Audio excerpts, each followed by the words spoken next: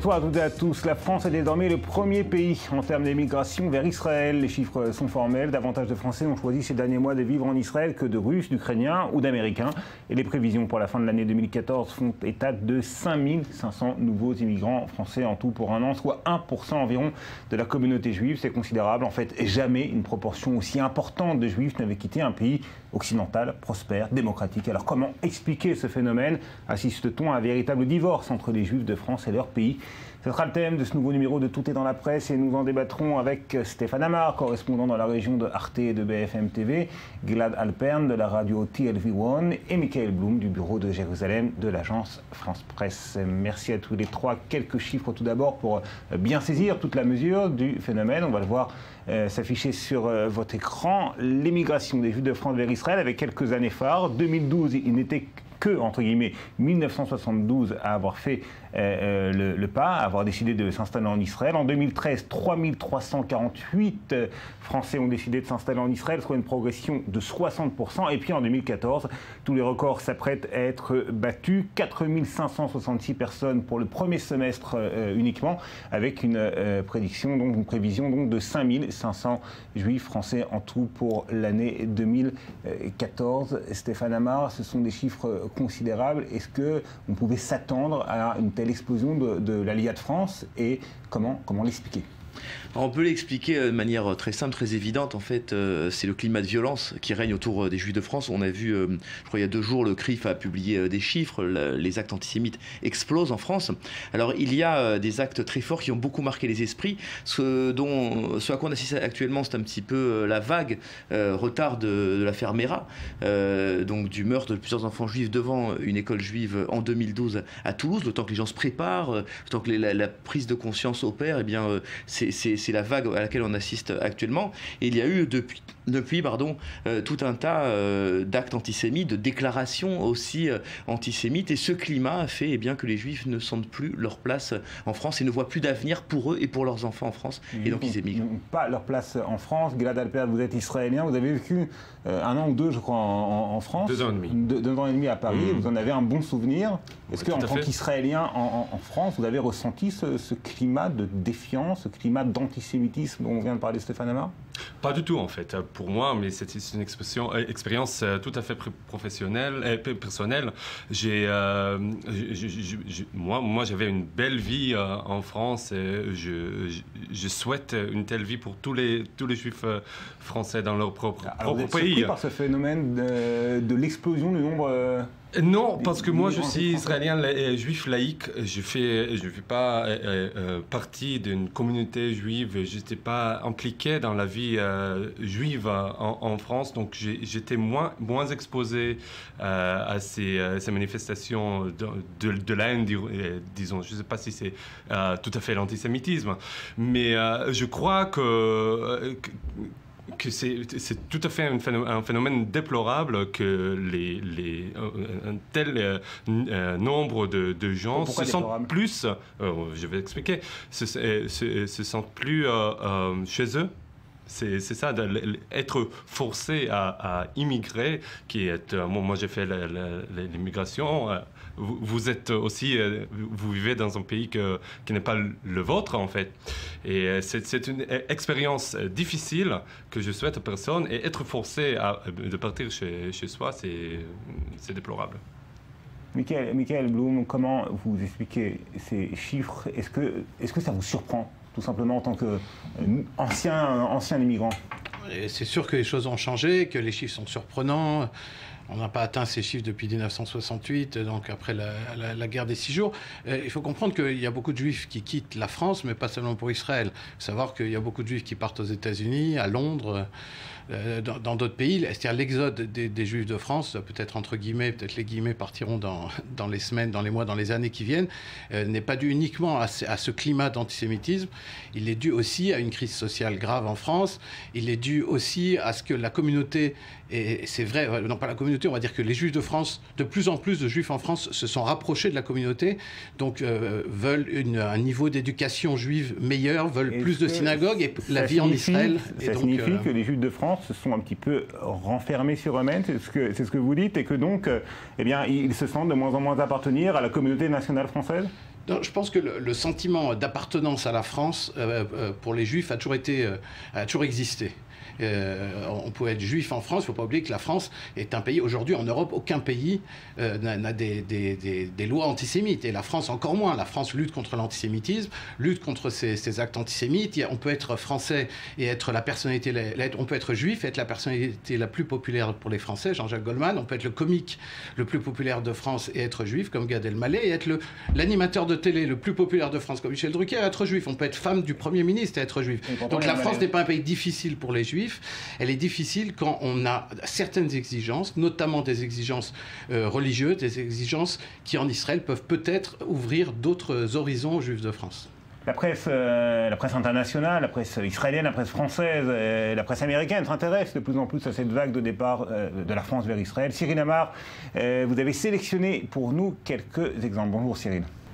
Oui, il faut croire, Dror, que le phénomène a pris de l'ampleur puisqu'il s'est retrouvé cette semaine en une des plus grands quotidiens français, le Figaro et le Monde. Euh, sur le site du Figaro, d'abord, avec cette image de juifs français fraîchement immigrés en Israël et qui arborent fièrement, vous le voyez, leur nouvelle carte d'identité. Et puis, plus récemment, c'était ce week-end, en une du Monde, le journal de centre-gauche qui évoque sur une même page l'inquiétude des juifs de France face à la poussée de l'antisémitisme, aux côtés du chiffre record enregistré par l'ALIA française vers Israël. Alors face à l'antisémitisme, les juifs de France devraient-ils fuir ou combattre au sein même de la République? Les opinions, vous allez voir, sont partagées. Euh, dans les colonnes du quotidien juif américain de Jewish Daily Forward, c'est Laurent David Semama qui interpelle les juifs de France. Est-ce que fuir vers Israël est vraiment la solution s'interroge le blogueur. L'ALIA résoudra-t-elle tous vos problèmes Sécurité, emploi, éducation? Pensez-vous vraiment qu'il est plus facile de vivre dans un pays en guerre, sous la menace constante du terrorisme et d'une possible intifada? L'auteur de la tribune est lucide, mais il reste optimiste. La France, écrit-il, traverse sans doute une crise sociale majeure, mais la France demeure l'un des pays les plus pacifiques et les plus beaux du monde. Et aussi, longtemps qu'il le restera, eh bien, il y aura toujours un avenir pour les Juifs de France. Moins de retenue pour Christophe Barbier dans l'Express. Pour le rédacteur en chef de l'hebdomadaire français, la seule voie raisonnable, c'est celle de l'exigence républicaine. Comment un juif qui craint une poussée antisémite et qui choisit d'y abandonner ceux qui ne peuvent ou ne veulent partir pourra-t-il se laver de l'accusation de lâcheté? Les mots sont forts, quel que soit le mal qui menace notre pays, écrit Barbier, c'est ici en France qu'il faut le combattre par sens de l'honneur, c'est vrai, mais également par intérêt stratégique, car livrer les démocraties à l'antisémitisme, c'est promettre Israël à un destin de forteresse assiégée. Et puis, si vous voulez entendre un tout autre son de cloche, il vous faut lire cette analyse de Benoît Reski sur le site Atlantico. De plus en plus de juifs quittent la France, une statistique inquiétante pour les juifs, mais également pour la France, écrit Reski, car si les juifs choisissent de partir, c'est à cause de l'irruption violente et haineuse de la racaille des cités et s'ils ont l'impression que le sol de France se dérobe sous leurs pieds, c'est qu'ils constatent que cette judéophobie est aimablement accompagnée à la gauche de la gauche et chez les écologistes par des commentaires convenus du genre il faut les comprendre avec Gaza et tout ça. Alors les juifs de France se sentent seuls et la solitude, conclut Reski, est une bien mauvaise conseillère. Merci euh, Cyril pour ce petit florilège des euh, articles parus dans, la presse internationale et sur les sites internet concernant ce phénomène.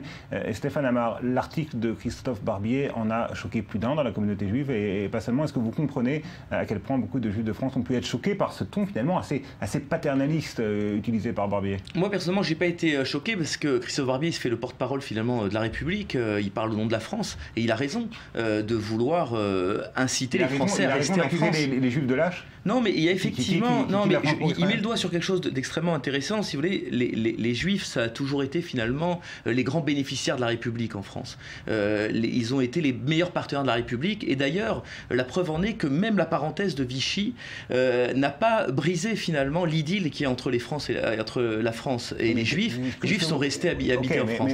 et là, maintenant qu'il y a une, une défaillance de la République, effectivement, où on sent que la République n'est plus présente dans bien des domaines en France France et dans bien des endroits, c'est les fameux territoires perdus de la République, eh bien les Juifs, effectivement, euh, sont tentés de fuir, puisqu'ils ne retrouvent plus la France qu'ils ont connue, ils ne la retrouvent plus bien évidemment à Trappes, mais ils ne la retrouvent plus non plus dans un certain discours médiatique, dans une certaine représentation d'Israël. Donc ce que dit Barbier, finalement, c'est euh, au lieu euh, de partir, eh bien combattre, rester combattre pour cette République intérieure Le problème, c'est peut-être pas uniquement l'antisémitisme, mais une incompréhension de plus en plus grande entre les Juifs de France et une certaine élite intellectuelle euh, en France, dont Barbier est peut-être le représentant, qui ne comprend pas cette espèce L'élite est exemplaire en, tant que président de la République, Premier ministre, etc. Élite intellectuelle. Élite intellectuelle, c'est autre chose. L'élite intellectuelle et, qui est de manière prédominante sceptique vis-à-vis de, des politiques israéliennes des dernières années.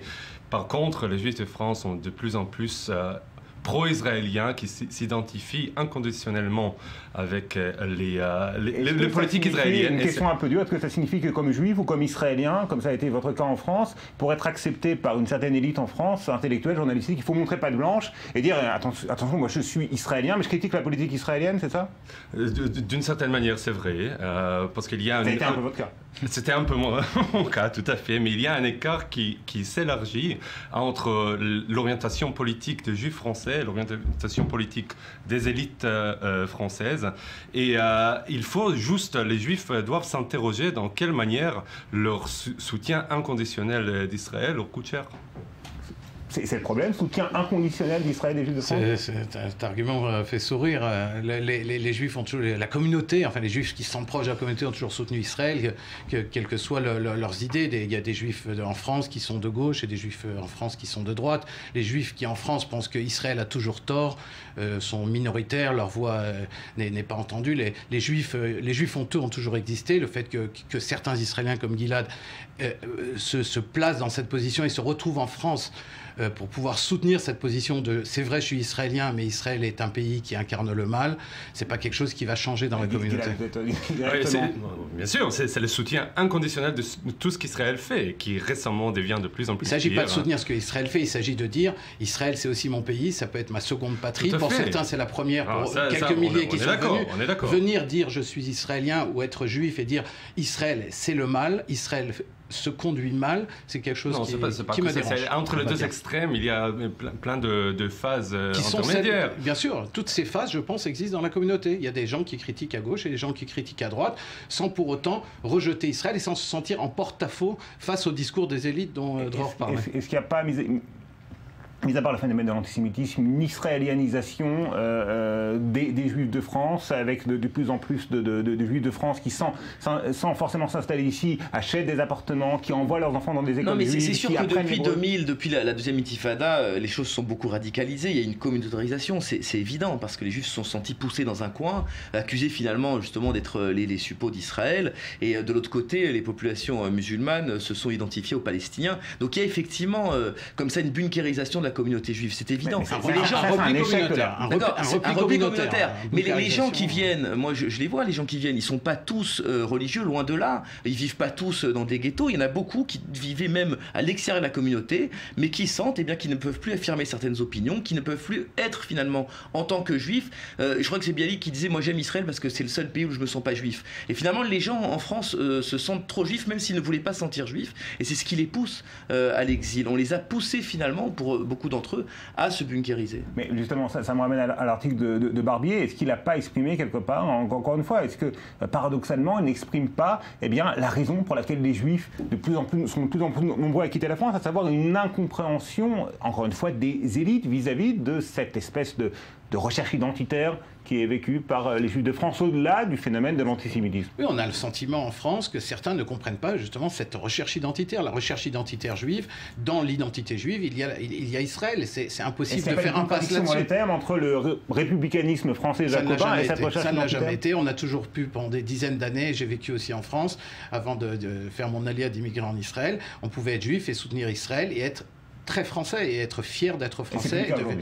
de moins en moins à cause de la politique israélienne, à mon avis. C'est votre obsession Tout est, à cause de la politique israélienne C'est pas tout à fait à, la cause, à cause de la, politique israélienne, mais c'est le, le, comportement d'Israël n'est pas neutre. Il ne joue, pas dans un vacuum. C'est euh, c'est quand même...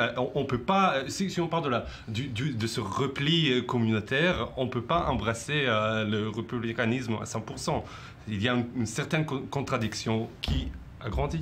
Et ça, c'est très ethnocentrique, je veux dire, très, très typiquement israélien, parce que je pense qu'il y, y, y, a des raisons pour lesquelles les juifs partent qui n'ont rien à voir avec Israël. Et il y, a des raisons à l'antisémitisme qui n'ont rien à voir avec Israël, c'est évident. D'abord, ce dont parlait Michael, il y a un malaise global, économique, social en France qui fait que les gens s'en vont. Souvent, les gens qui font leur alia disent euh, Mon ami euh, non-juif euh, français m'a dit Toi, tu as de la chance, au moins, tu as un pays où tu peux aller. Moi, je voudrais bien aller me réfugier quelque part, mais finalement, je peux pas. Donc, c'est ce dont parle Barbier. Il y a effectivement une fuite de la France, de ce qui est devenu la France, parce que c'est une situation économique très difficile, mais également euh, une situation sociale. Et il faut en parler. Il y a aussi un problème posé par l'immigration en France. Et euh, beaucoup de gens, beaucoup de Français sont excédés. Ça explique le score du Front National.